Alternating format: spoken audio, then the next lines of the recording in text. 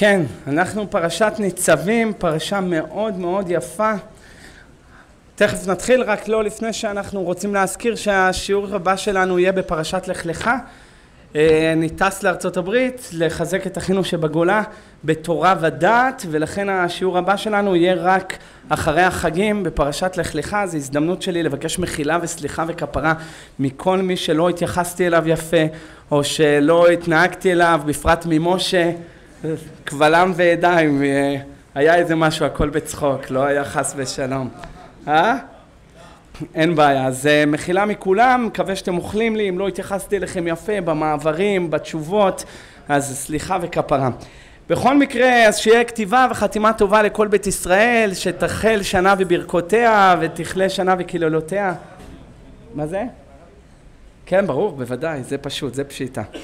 אתם ניצבים היום כולכם לפני אדוני אלוהיכם, ראשיכם, שבטיכם, זקניכם ושוטריכם וכל איש ישראל, טפכם, נשיכם וגרך אשר בקרב מחניך, מי חוטב עציך עד שואב מימיך לעוברך בברית אדוני אלוהיך ובעלתו, אשר אדוני אלוהיך כורת עמך היום. המפרשים כולם נרגשו בלשון הזאת שהיא לשון רבים. אתם ניצבים היום כולכם לפני השם אלוקיכם והפרשה הזאת בדרך כלל תמיד יוצאת לפני ראש השנה ומה הרעיון? שכולם ניצבים למשפט עכשיו ודאי שכל אחד ואחד ניצב למשפט לפני הקדוש ברוך הוא. מלך במשפט יעמיד הארץ ברוך מלך המשפט ואנחנו מפחדים ויראים מחמת דינו הקדוש של קודשא בריחו שהוא אה, אל אמונה ואין עוול והמדרש כבר אומר כלום יש אומה שהמלך שלה דן אותה אם תחיה אם תמות והיא אוכלת ושותה ושמחה הרי כמה אנחנו שמחים לקראת היום הזה יום ראש השנה. מצד אחד אנחנו מפחדים כל בני עולם עוברים לפניו כבני מרון. כך אומרת הגמרא ט"ז עמוד ב' במסכת ראש השנה. אמר רבי יוחנן אמר בקרוספדה שלושה ספרים נפתחים בראש השנה. הרמ"א כותב אין ספרים למעלה בשמיים. הרי זה מילתא דפשיטא וגם מה שאומרת המשנה וכל מעשיך בספר נכתבים אין ספר למעלה בשמיים אלא בא לומר לך בלשון משל ומליצה שכמו אדם שרוצה לזכור משהו הוא כותב את זה בפנקסו או בספרו ככה אין שכחה לפני כיסא כבודיך והקדוש ברוך הוא זוכר מעשה כולם. אז למה אמרו שלושה ספרים? רמז לשלושה ספירות בינה זעיר אנפין ומלכות ששלושת ההנהגות האלה נפתחים בראש השנה. מי שזכה זה הצדיקים נכתבים על ידי ספירת הבינה לחיים טובים. הבינוניים זה זה ואלה שהם רשעים המלכות שהיא דינא דמלכותא דינא עושה בהם דין ונכתבים לחס ושלום למיתה. אז, אז, אז כולם מפחדים הקדוש ברוך הוא מלך במשפט משפט יעמיד הארץ, כולם ניצבים היום לפני השם אלוקיכם, כולם ניצבים. הפשט כאן, מה זה כולכם ניצבים?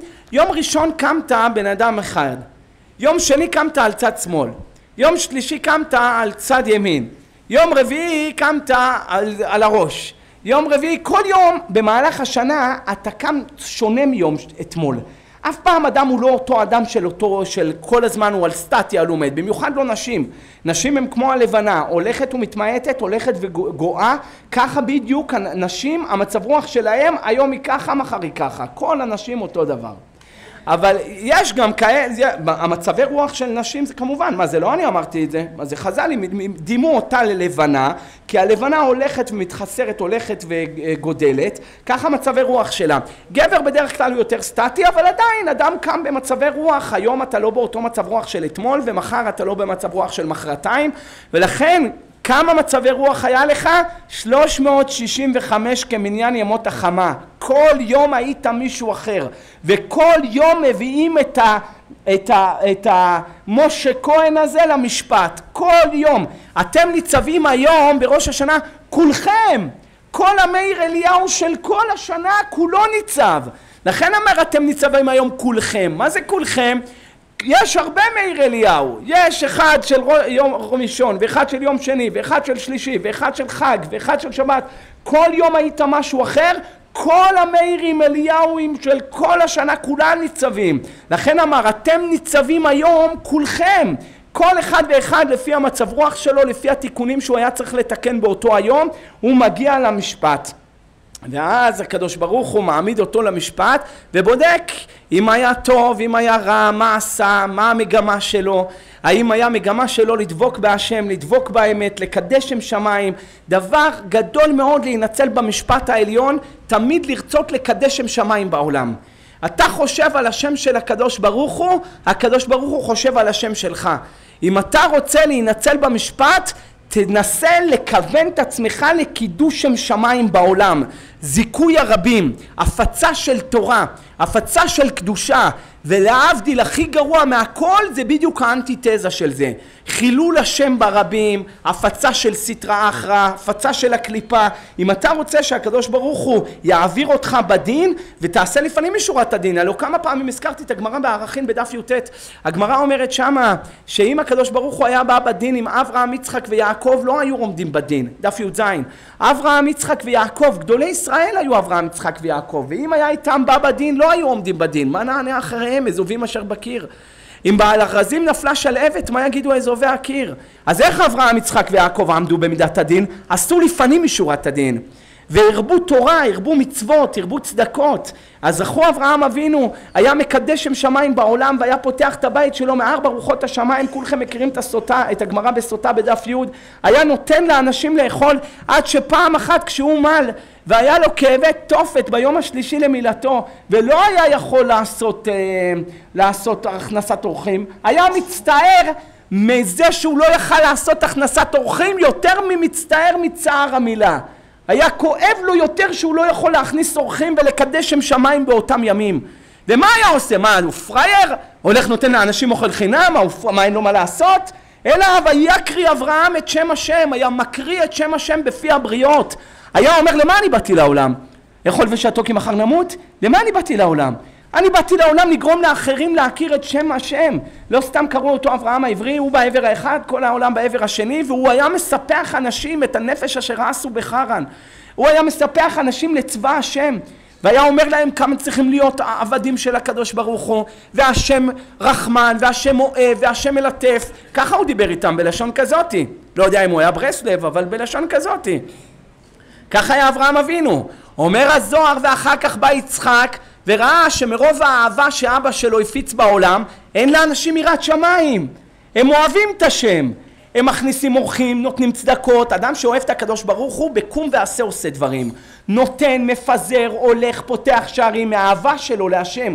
אבל הוא לא מפחד מהחטא. ועבודה בלי פחד היא לא נקראת עבודה שלמה צריך יראת שמיים. דף ל"א מסכת שבת אם יראת השם יוצרו אין אי לה לה. צריך יראת שמיים ע"ב עמוד ב' מסכת אה, יומא ל"ג מסכת אה, שבת. הגמרא אומרת שמה גם כן אותו דבר נו, אז זה חמור בלי יראת שמיים. ל"ג מסכת ברכות, ואתה ישראל מה השם שואל מעמך כי אם לירא את השם אלוקיך. יראת שמיים זה העיקר, ו' מסכת ברכות, הגמרא אומרת כל העולם נברא אלא בשביל זה, בשביל בן אדם אחד שהוא ירא שמיים שווה לקדוש ברוך הוא להשאיר את כל העולם כולו. יראת שמיים זה העיקר. מה עשה יצחק? הוא מידת הדין, מידת הגבורה. כשהוא בא לעולם התחיל לתת להם דרשות, מה שאבא שלו, אבא שלו אברהם רק נתן יד מלטפת, ימין, ימין מקרבת, בא יצחק נתן להם שמאל דוחה. מה אתם חושבים, אבא שלי דיבר איתכם רק על היכלות גן עדן? בואו תדעו, יש גם מדורים בגיהינם. ואז התחיל לגלות להם גיהינם בעולם, התחיל לגלות להם שיש דין ויש דיין ויש יום לאל היום והוא עתיד להיפרע ולהראות לבני אדם מי שהתחיל, מי שלא עשה את מצוות, מצוותיו וקיים את חוקיו או שהלך ועשה פורענות או חילול השם עכשיו ייכנס בו מידת הדין. ואם לא עכשיו בזקנותו הרבה פעמים אמרתי העבירות שעברתי בילדותי יקעו שיניי בזקנותי. אנשים חושבים שכח חזרתי בתשובה זה יש לך כל מיני כאלה שהם פשוט נבערים מדעת שרוצים להחזיר אנשים בתשובה אומרים לו תחזור בתשובה הכל נמחק לך. ואם באהבה הכל מתהפך לזכויות. וואלה איזה בקלות עשו את כל התורה ככה. מה אתם יודעים איזה, איזה, איזה, איזה חילוקים יש בזה? אתה יודע גם מה זה תשובה? אתה יודע מה זה, מה זה נקרא תשובה שצריך בכלל לחזור בתשובה מיראה? אתה יודע מה זה תשובה מיראה מי לנו יותר מאלעזר בן דורדיה? כמה פעמים הזכרתי אותו פה בדף י"ז במסכת עבודה זרה שהוא עשה תשובה, שם נושא ראשו בין ברכיו, גאה בבכי ומת. אבל לא צריך למות עד כדי כך לעשות תשובה של מוות עד שהוא מת. אבל צריך לעשות תשובה מעומקה דליבה, שהוא מתחרט בכל הכוח שלו הוא מתחרט, והיה נותן את כל כספו רק להחזיר את הגלגל אחורה ולא לעשות את אותה עבירה. אתה היית נותן את כל כספך? הלא הרמה כותב יורה דעה קנ"ז כותב שם הרמה שאדם צריך לתת את כל הונו וכל כספו ולא יעבור לאו אחד מהתורה. כל הונו וכל כספו שלא נבוא לידי ניסיון. מי דיבר בכלל על לשון הרע? מי דיבר על דיבור בבית כנסת? מי דיבר על הרהורי עבירה? מי דיבר על לא תטורו? כל הונו ולא יעבור על לשון הרע אחד. מה תעשה? נו, אתה רואה איזה חמור? אז בא יצחק אבינו ולימד אותם שיש דין ויש דיין. יש גלגולים, בדומם, בצומח, בחי, במדבר, יש גיהנם, יש כף הקלע, יש ייסורים של העולם הזה, אלף פעם כבר אמרתי ועוד אלף פעם אני אומר. קדוש ברוך הוא לא צריך להרוג אף אחד כדי לקחת אותו לגיהנם, הוא יכול להביא את גיהנם אליך. צרות ובעיות ומחלות, הנה עוד כמה ימים, ספרי חיים ומתים לפניך היום נפתחים, הראשונים כותבים, מה זה ספרי מתים? לאו דווקא מתים, אלא כל מה גזרות שרעות הם בתחת הכותרת של ספרי מתים, וכל הגזרות הטובות הם בתחת הכותרת של ספרי חיים. אתה רוצה שיהיה לך חיים טובים, חיים של שלום, חיים של ברכה, חיים של יראת שמיים, חיים של אהבת השם, חיים של דבקות בהקדוש ברוך הוא, חיים שתהיה עסוק בעבודת השם ולא עסוק במחלות, בבתי חולים, בהקרנות, בייסורים, בהפסדים.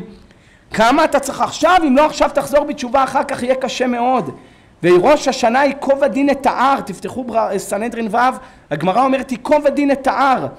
שאם ראש השנה הקדוש ברוך הוא לא מוחל ולא סולח, יום הכיפורים אל מלך יושב על כיסא רחמים. מתנהג בחסידות, אומרים 26 פעם יג מידות, לרמוז לך שהקדוש ברוך הוא נמצא הוא לבדו, כיסא שלו לבדו, אבל יום ראש השנה, אללה בכתי.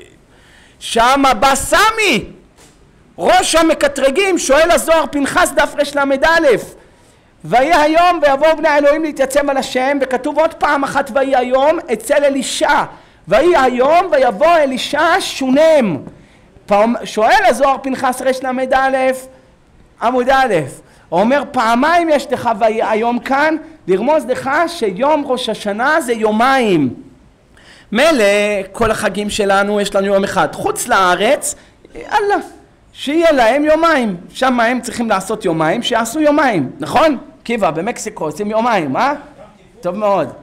לא, בכיפור לא עושים יומיים, מה, אתה רוצה להרוג את האנשים? יש גבול. אתה אבל צריך לעשות יומיים.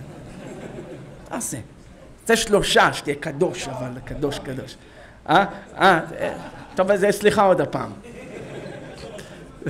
סוף השיעור, למה אני אצא עוד כמה פעמים. אז עכשיו יצא מכאן אתה רואה, חוץ לארץ עושים יומיים כל החגים, דף י' מסכת ערכין, דף כ"ח מסכת תענית, הגמרא אומרת 18 ימים היחיד גומר בהם את ההלל ובחוץ לארץ 21 יום. איך יצא להם 21 יום? לומר לך שהם חוגגים יומיים, יומיים סוכות, יומיים הושענא רבה, יומיים פסח, יומיים פסח שלהם קשה מאוד, אני גרתי כמה שנים בארצות הברית, הכי קשה זה הסדר, ליל הסדר. מה זה קשה, אתה יודע מה אתה צריך לאכול שם עוד הפעם מצות, עוד הפעם ארבעה כזה יתרות והבטן כבר מלאה, זה פרעה צוחק מגיהנם, מבסוט. קשה מאוד, קשה מאוד היומיים האלה. זה צער גדול לקיבה, שינוי וסת תחילת חולי. מרן כותב בסימן רפ"ח באור החיים. אומר שם מרן שהיו החסידים ואנשי מעשה לעשות תעניות כל השבוע, היה מצטערים לאכול ביום שבת, כמו רבי יהודה החסיד. ולמה היו מצטערים לאכול ביום השבת? משום שינוי וסת תחילת חולי. זה מצער מאוד את הבן אדם שכל השבוע הוא עושה תעניות ויום שבת צריך לאכול. ומרן פוסק בסימן רע"ד סעיף ד' סעודה זו ושל הלילה, הוא מדבר על סעודת שחרית, חייב לעשותה על הפת.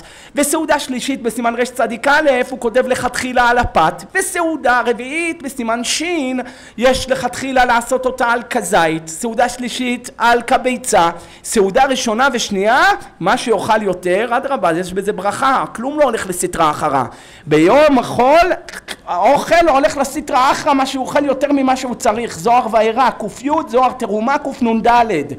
לשליט יצרה בישגוב מאוי דברנש אלא מגון מחליה ומשתיה ממה שולט יצר הרע בתוך המעיים של הבן אדם? מתוך אכילה ושתייה שנאמר ויאכלו וישתו ויקומו לשחק.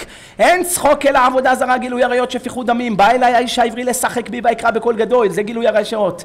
ושפיכות דמים כתוב. וכמתעלה היורה חצים ויאמר הלא משחק אני ולעומת זאת עבודה זרה כתוב ויאכלו וישתו ויקומו לשחק עשו את העגל.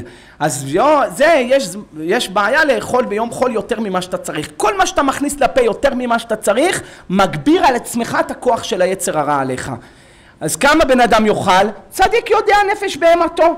לא צריך לאכול יותר מדי. אני פעם הייתי בישיבה של בעלי תשובה, אז הגישו שם שניצלים. אז אכלו שניצלים, היה בעל תשובה אחד, גמר את השניצל ולקח שניצל שניצל, לא את החתיכה הקטנה, השאיר לחבריו. לקח חתיכה גדולה, דומה קצת למה שאומרת הגמרא בפסחים דף ג' עם אותו אחד שלקח חתיכה גדולה של לחם הפנים, נו, שבסוף קיבל חתיכה קטנה, לקח שניצל גדול, אחרי שגמר את השניצל, לק... בא לקחת עוד אחד, אמרתי לו, תגיד, לא חרם על התורה שלך? עושה לי מה חרם, מה? אמרתי לו מה, הגמרא אומרת דף עין מסכת גיטין, תני רבי חייא סעודתך שהנאתך מרובה ממנה משוך ידך, מה אתה נהנה יותר מדי? ותוספות כותבים בכתובות קד עמוד א' עד שמתפלל אדם שתיכנס תורה במאיו, יתפלל שלא ייכנסו מעדנים בתוך מאיו. מה אתה נהנה יותר מדי? הוא אומר לי הרב מאיר, את הבחורות לקחו, את הסמים לקחו, את המסיבות לקחו, את האוכל לא ייקחו. אני רואה אתה מבסוט אתה ככה, יש צער. היום הוא כבר מסוגף, היום הוא כבר בחור צדיק וקדוש, כל אחד והמדרגות שלו. גם מה שאמרו, פת במלח תאכל מים מהבשורה תשתה על הארץ, תשענך יצר, תחיה משנה באבות, פרק ו' משנה ד', כל דור והפת שלו, כל דור והלחם שלו. היום אם לצד הפת יהיה קצת טונה וקצת סלט, זה עדיין נקרא פת במלח, זה עדיין נקרא פת במלח. בעוצמה של התאוות והפיתויים שיש בה היום, אז אדם לא צריך להרגיש רגשות אשמה אם הוא אוכל גם קצת פת, ואצלנו בישיבה תמיד היה כלל, תאכל טוב, תישן טוב, תלמד טוב. אל תהיה... אל תהיה מוזר, אתה תהיה מוזר אחר כך אתה, אתה תיפול מכל המדרגות, יש כללים, צאי לך בעקבי הצאן, איך לימדו אותנו רבותינו, ככה אנחנו עושים, לא ממציאים דרכים חדשים ודרכים חדשות כדי לגדול ולצמוח בתורה. בכל מקום, אתה רואה מכאן שיש אנשים שהיו עושים תענית כל השבוע והיו מצטערים ביום שבת לאכול משום שינוי וסת תחילת חולי. אז מצער אותם מאוד כל התענית הזאת, יש להם, יש להם צער.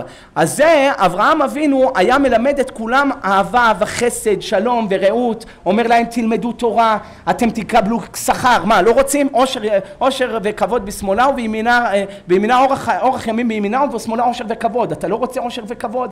ככה מגדילים ילדים קטנים, איך ילדים קטנים מגילים להם? זה מה שמרגילים אותם לכל מיני סוכריות. הרמב"ם כותב, בהתחלה אגוזים וכליות, היום לך תביא לי ילד קטן אגוזים וכליות נראה. ילד קטן, הוא רוצה כיף כיף, ביסלי, אה? דוגלי? איך הגעת?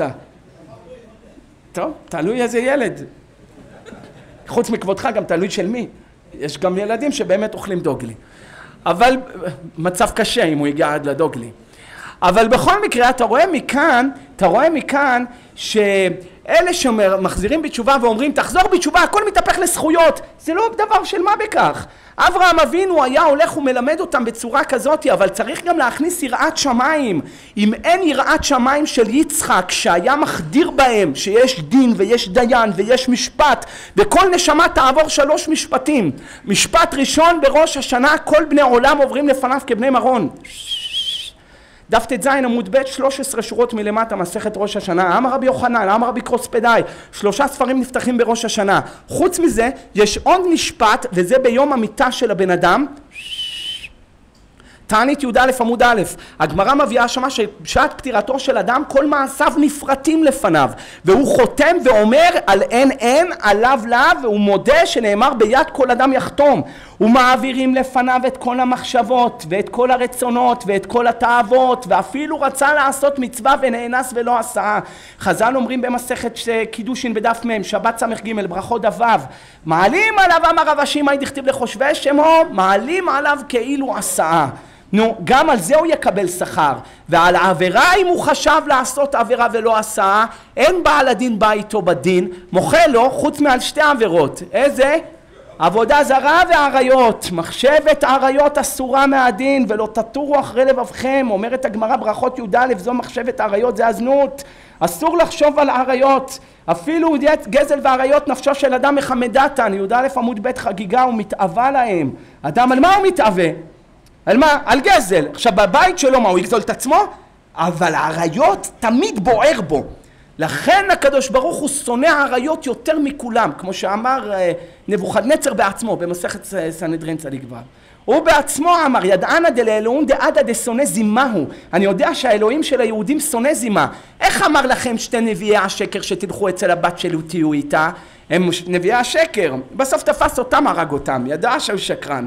זה הקדוש ברוך הוא שונא זימה ולא יראה בך ערווה דבר ושב מאחריך. הקדושה לא מסוגלת לסבול להיות בבן אדם שהוא לא קדוש. בן אדם שהוא מאבד את הקדושה שלו, את היראה שלו, שכינה שיש עליו בורחת. בורחת, אל תתפלא שאתה לא זוכר את הלימוד. אל תתפלא שאין לך מתיקות בתפילה, אתה משועמם, אתה בא לתפילה, אתה מת, אתה אומר מתי כבר ייגמר הצער הזה. אל תתפלא שהשבע ימים של הסוכות, אתה אומר יאללה מתי כבר אני גומר את ארבעת המינים האלה, איך שנגמר, אתה זורק את זה, אתה אומר ברוך שפטרנו מעונשו של זה. לא בא לך. לך תסתגל, לך, לך תבדוק שבאמת לא, לא, יש כאלה עושים ברכות לבטלה בארבע, לארבעת המינים, הרי הערבה טיק טק היא משחירה, טיק טק היא משחירה, העלים שלה נופלים. עכשיו ביום השני, ביום השלישי, לא טיפלת בערבה כמו שצריך, הלכה הערבה, איך אתה מברך על ארבעת המינים ואתה מנענע? אין לך ארבעת מינים, יש לך שלוש מינים, זה ברכה לבטלה. אז תלך ותהיה ירא שמיים ותדאג ל- ל- ל- להחזיק את ארבעת המינים התנאים הנאותים כדי שהם יחזיקו כל השבעה ימים ואם הם לא מחזיקים אז תלך ותחליף תוך כדי אתם יודעים כמה פעמים אני מחליף את הערבות? בלי נדר, ככה מחליף ואם יש לי בעיה ואין ערבות אני עושה מתנה על מנת להחזיר ומנענע בשל מישהו אחר מה נעשה?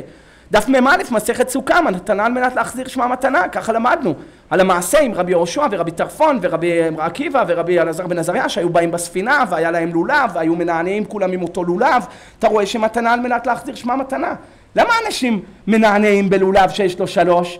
אה? אני פעם הייתי פה בשוק של ה... שים פה שוק, שים פה קופות קופות בלי עין הרע אז הייתי פה בשוק מה משה מוכרים פה ביוקר ארבעת המינים מה משה אתה המנכ"ל? אה סמנכ"ל, סמך, אה, זה.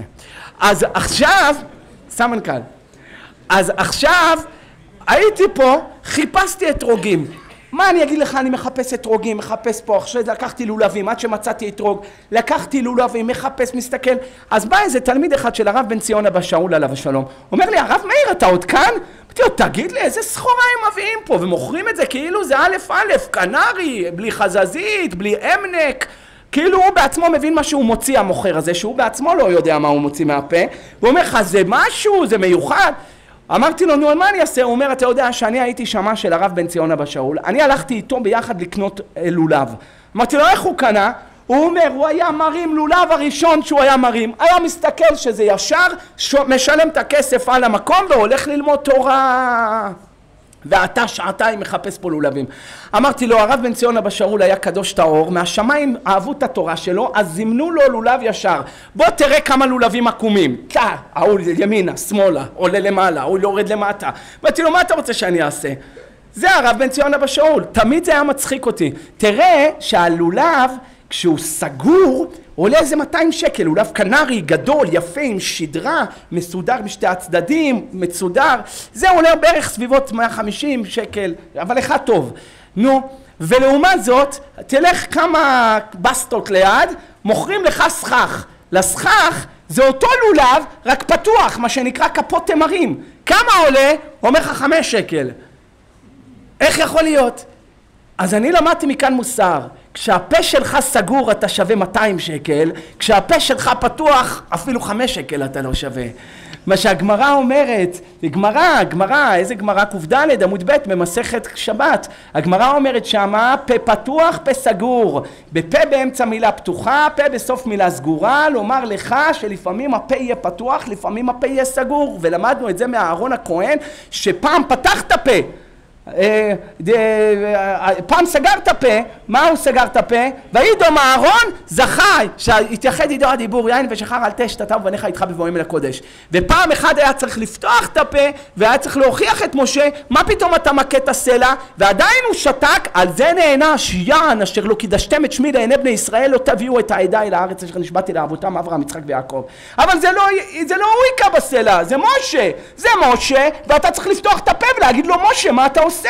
הלוא על זה נחרב בית המקדש. הגמרא אומרת, גיטין נ"ז על קמצא ובר קמצא שכולם סתמו את הפה כל החכמים? שתקו, על זה ששתקו נחרב בית מקדשנו. לפעמים אתה לא יכול לפתוח את הפה, אבל הגמרא אומרת בסנהדרין, בפסחים צדיק ט', שתיקה יפה לחכמים, קל וחומר לטיפשים. נפקא מינה, אם אתה לא יודע, אם צריך עכשיו לפתוח את הפה או לא צריך לפתוח את הפה, עדיף אל תפתח את הפה.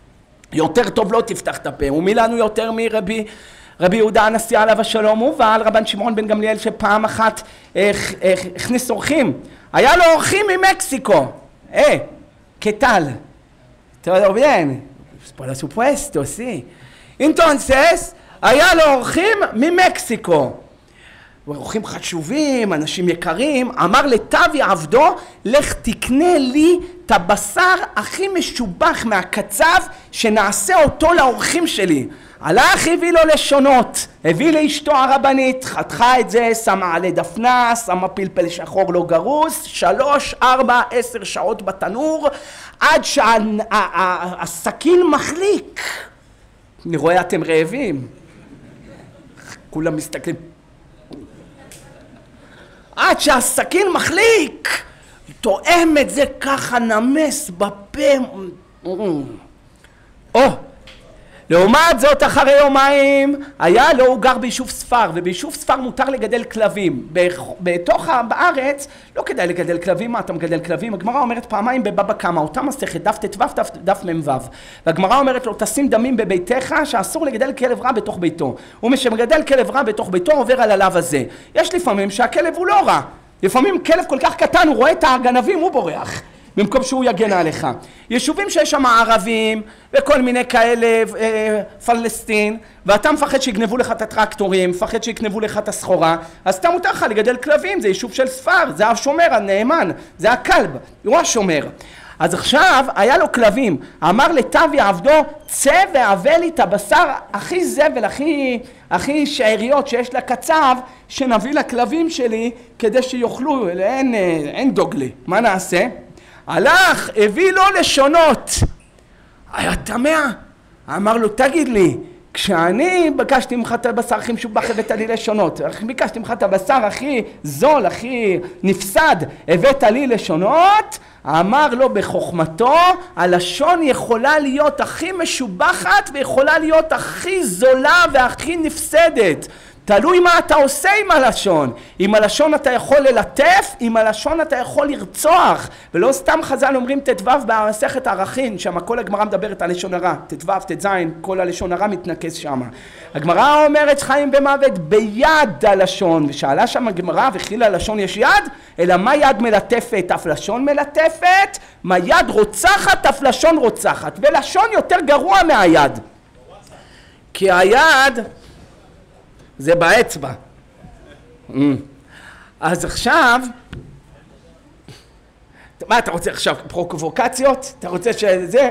חכה, עוד מעט יגיע גם, גם הסוגיה הזו. אז עכשיו יש בזה בעיה, באמת זה בעיה. לכן בן אדם עכשיו אה, חוזר בתשובה, הוא צריך לדעת יש ימין מלטפת של אברהם ויש שמאל דוחה של יצחק והעבודה השלמה היא רק קומבינציה של שתי הדברים ביחד. שואל הזוהר פרשת פנחס דף רל"א עמוד א', אז בחוץ לארץ יש להם שתי ימים. איזה ימים? ימים טובים של גלויות. קשה להם הימים האלה, אבל מה לעשות, הם לא כל כך אוהבים, לפעמים זה יוצא לך שלושה ימים רצוף, הרבה פעמים. למה? מתחבר עם שבת. אתה יודע מה זה שלושה ימים חושך, אתה לא יכול לעשות כלום. שלושה ימים. נו, מה יהיה? תסגור את זה. תגיד לו שיקנה. לא בירכתי, נכון?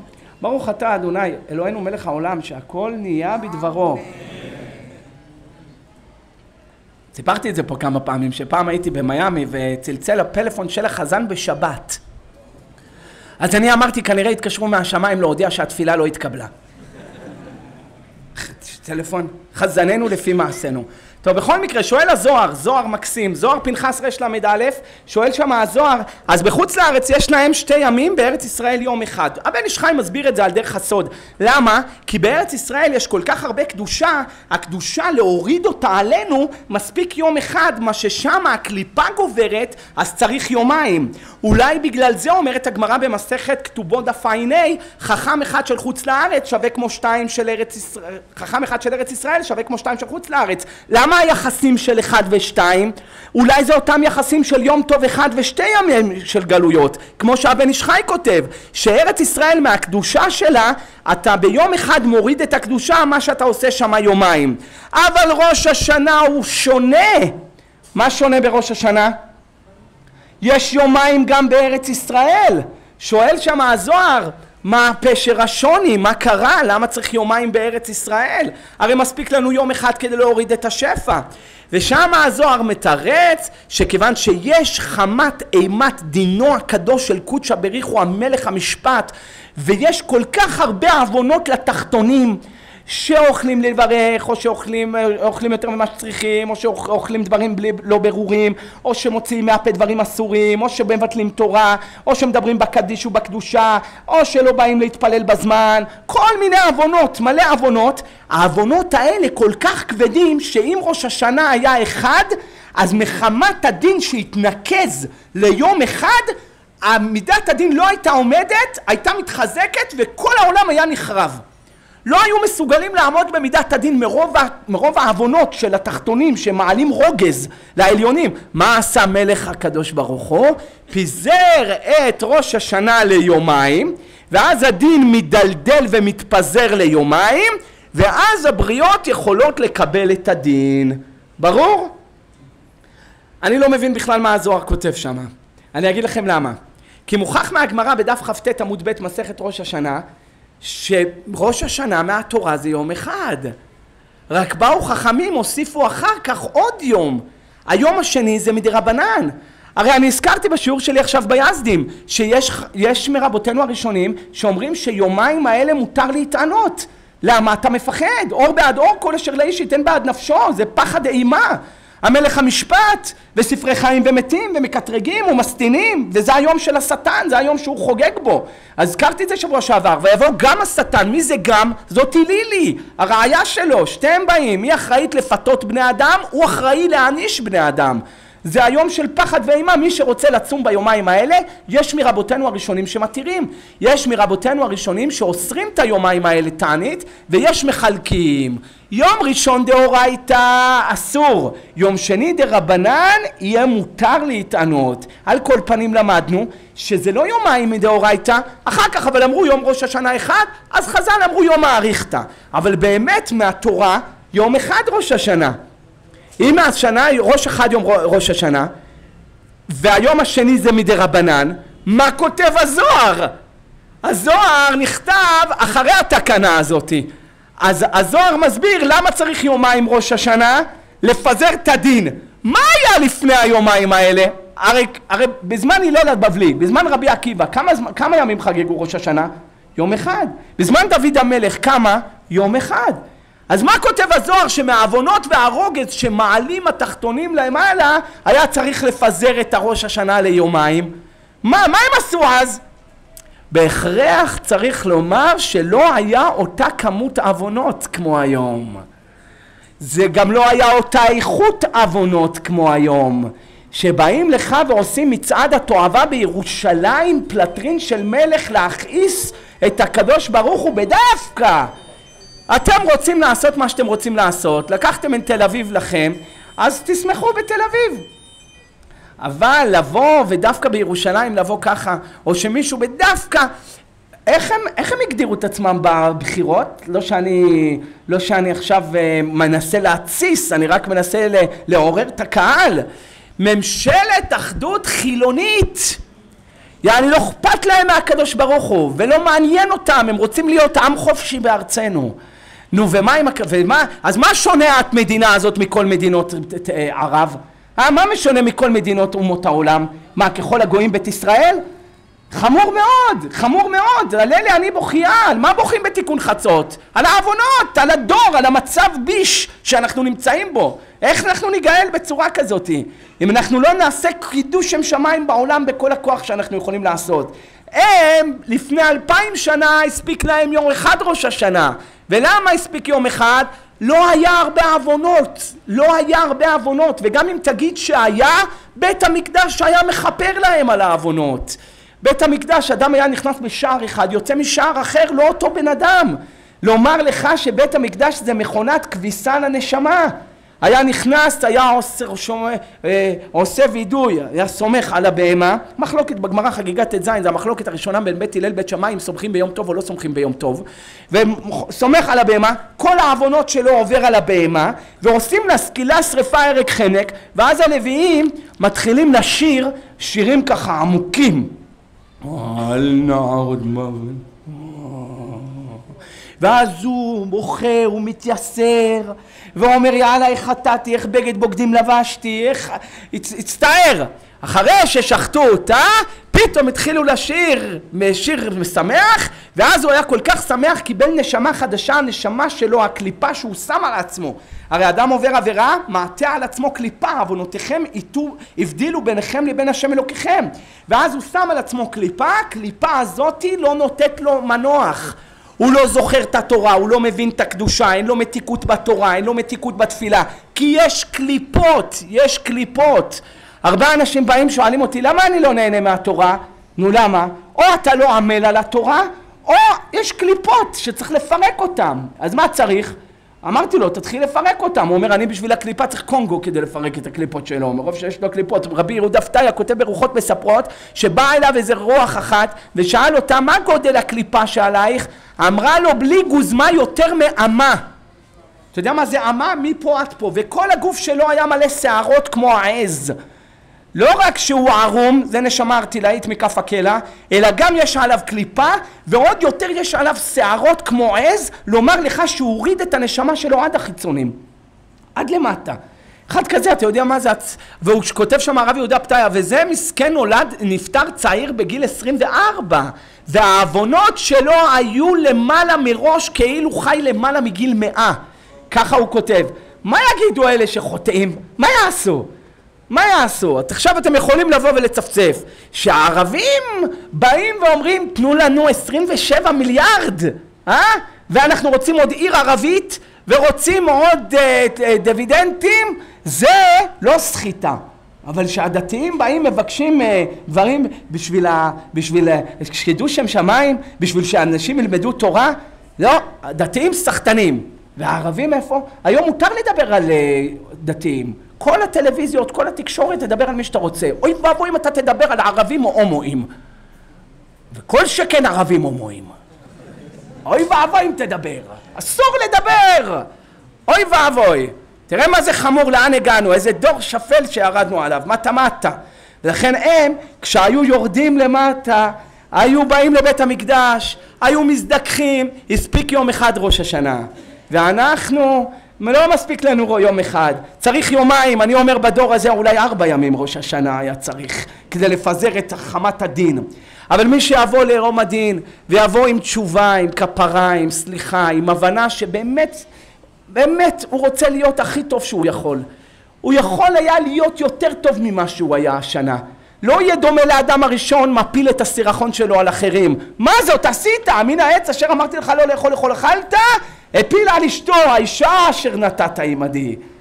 בא הקדוש ברוך הוא לאשתו לחווה.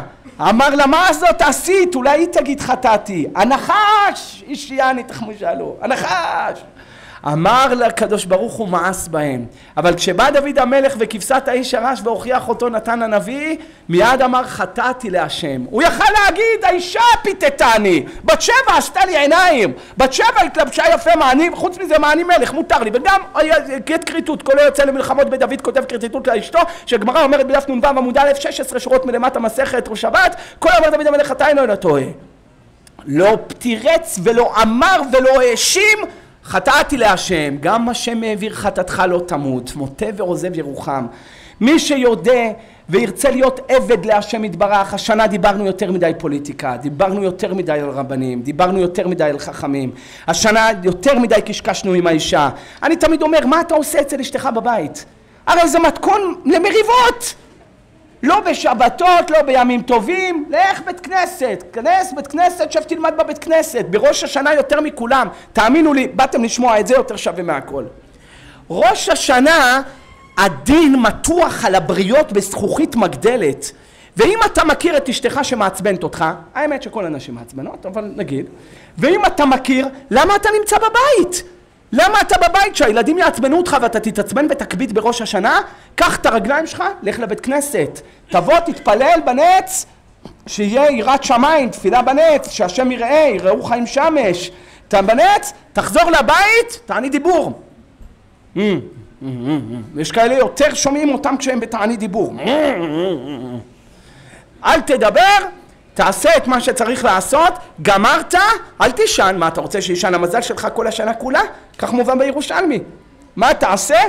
לך לבית כנסת, אל תדבר עם אשתך, אל תשב לפיצוחים, אל תשב לעוגות, אל תשב לדיזרט וגלידות, ולא עם הילדים, תגיד דבר תורה, על אימת היום, יראתו על פניהם, לא יאכלו כדי שובעם, כדי שתהיה יראתו על פניהם. תהיה יראת שמיים עליך. גמרת לאכול ברכת המזון, כל טוב. לאן אתה הולך? בית כנסת.